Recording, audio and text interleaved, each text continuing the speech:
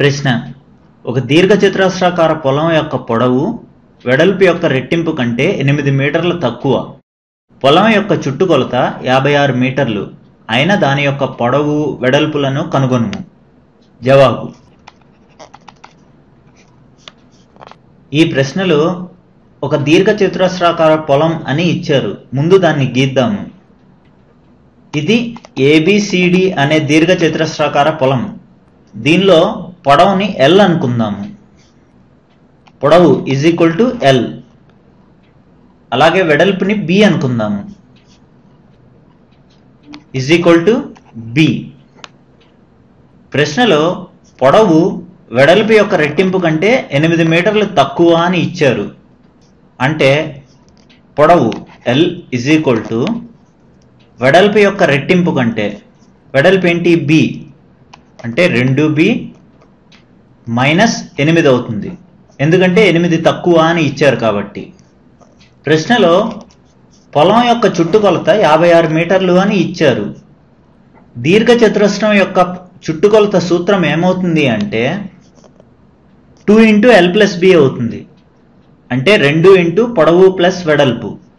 అంటే రెండు ఇంటూ పొడవు ప్లస్ వెడల్పు ఇజ్ ఈక్వల్ టు యాభై ఆరు మీటర్లు.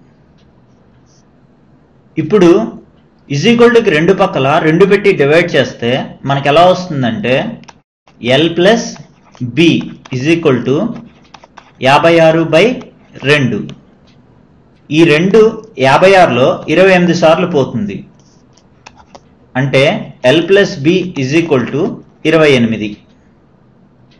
మనకి ఎల్ విలువ ఎంత వచ్చింది? రెండు బి మైనస్ ఎనిమిది వచ్చింది. అది ఇక్కడ ప్రతిక్షేపిద్దాము. రెండు బి మైనస్ ఎనిమిది plus B is equal to ఇరవై ఎనిమిది. రెండు బి ప్లస్ బి అంటే దాని విలువ మూడు బి మైనస్ ఎనిమిది ఇజ్ ఈక్వల్ టు ఇరవై ఎనిమిది. ఈ మైనస్ ఎనిమిదిని ఇజ్ ఈక్వల్ టు అవధులకి తీసుకెళ్తే ప్లస్ ఎనిమిది అవుతుంది. అంటే మనకి ఎలా వస్తుంది? మూడు బి ఇజ్ ఈక్వల్ టు ఇరవై ఎనిమిది ప్లస్ ఎనిమిది.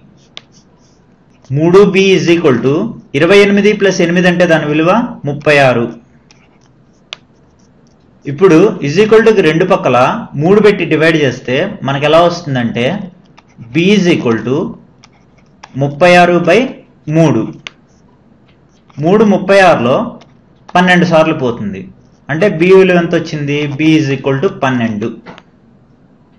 బి అనేది ఏంటి? వెడల్పు.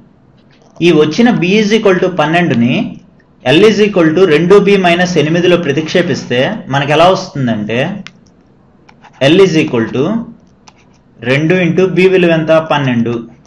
పన్నెండు మైనస్ ఎనిమిది. ఎల్ ఈజ్ ఈక్వల్ టు రెండు ఇంటూ పన్నెండు అంటే దాని విలువ ఇరవై నాలుగు. మైనస్ ఎనిమిది. ఎల్ ఈజ్ ఈక్వల్ టు ఇరవై నాలుగు మైనస్ ఎనిమిది అంటే దాని విలువ పదహారు. ఎల్ అంటే ఏంటి? పొడవు. పొడవు ఎంత వచ్చింది? పదహారు వచ్చింది. వెడల్పు ఎంత వచ్చింది? పన్నెండు వచ్చింది. ఇదే మనకు కావాల్సిన జవాబు. ఇప్పుడు మరో ఉదాహరణ చేద్దాము. ప్రశ్న. ఒక త్రిభుజంలోని రెండు భుజాల కొలతలు సమానం. వీని కొలతలు మూడో భుజం రెట్టింపు కంటే ఐదు మీటర్లు తక్కువ. త్రిభుజం యొక్క చుట్టుకొలత యాభై ఆరు మీటర్లు.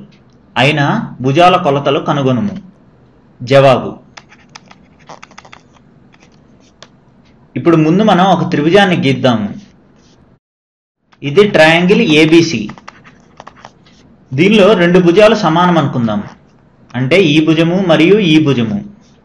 అంటే AB is equal to AC అనుకుందాము. మనకి ప్రశ్నలో ఈ రెండు భుజాల కొలతలు మూడో భుజం రెట్టింపు కంటే ఐదు మీటర్లు తక్కువ అని ఇచ్చారు. అంటే మూడో భుజం. BC is equal to X అనుకుందాము.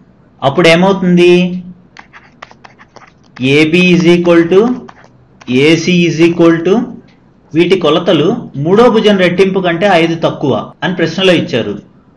మూడో భుజం ఏది? ఎక్స్ దీని రెట్టింపు అంటే రెండు ఎక్స్ దానికంటే ఐదు తక్కువ అంటే మైనస్ ఐదు అవుతుంది. మనకి ప్రశ్నలో త్రిభుజం యొక్క చుట్టుకొలత యాభై ఐదు మీటర్లు అని ఇచ్చారు. చుట్టుకొలత అంటే ఏంటి? మూడు భుజాల మొత్తము. అంటే AB plus BC plus AC is equal to యాభై ఐదు. ఏబి అంటే ఏంటి? రెండు ఎక్స్ మైనస్ ఐదు ప్లస్ బీసీ అంటే ఎక్స్ ప్లస్ ఏసీ అంటే రెండు ఎక్స్ మైనస్ ఐదు ఇజ్ ఈక్వల్ టు యాభై ఐదు. రెండు ఎక్స్ ప్లస్ ఎక్స్ ప్లస్ రెండు ఎక్స్ దాని విలువ ఐదు ఎక్స్ అవుతుంది. ఐదు ఎక్స్ మైనస్ ఐదు మైనస్ ఐదు ఇజ్ ఈక్వల్ టు యాభై ఐదు. ఐదు ఎక్స్ మైనస్ ఐదు మైనస్ ఐదు అంటే దాని విలువ మైనస్ పది ఇజ్ ఈక్వల్ టు యాభై ఐదు. ఈ మైనస్ పదిని ఇజ్ ఈక్వల్ టు అవతలి తీసుకెళ్తే ప్లస్ పది అవుతుంది. అంటే మనకు ఎలా వస్తుంది? ఐదు ఎక్స్ ఇజ్ ఈక్వల్ టు యాభై ఐదు ప్లస్ పది. ఐదు ఎక్స్ ఇజ్ ఈక్వల్ టు యాభై ఐదు ప్లస్ పది అంటే దాని విలువ అరవై ఐదు. ఇప్పుడు ఇజ్ ఈక్వల్ టు రెండు పక్కల ఐదు పెట్టి డివైడ్ చేస్తే మనకి ఎలా వస్తుందంటే ఎక్స్ ఈజ్ ఈక్వల్ టు అరవై ఐదు బై ఐదు. ఈ ఐదు అరవై ఐదులో పదమూడు సార్లు పోతుంది. అంటే ఎక్స్ విలువ ఎంత వచ్చింది? ఎక్స్ ఈజ్ ఈక్వల్ టు పదమూడు. ఈ ఎక్స్ అనేది ఏంటి బీసీ మూడో భుజము. ఇజ్ ఈక్వల్ టు పదమూడు. ఈ వచ్చిన ఎక్స్ ఈక్వల్ టు పదమూడుని ఏబి మరియు ఏసీలో ప్రతిక్షేపిస్తే మనకు ఎలా వస్తుందంటే AB is equal to AC is equal to రెండు ఎక్స్ అంటే రెండు ఇంటూ పదమూడు మైనస్ ఐదు.